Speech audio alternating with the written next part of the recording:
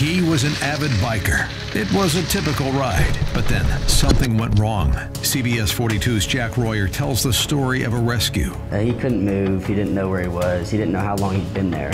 What a passerby didn't do that may have saved a man's life. Tonight on CBS 42 News at 10.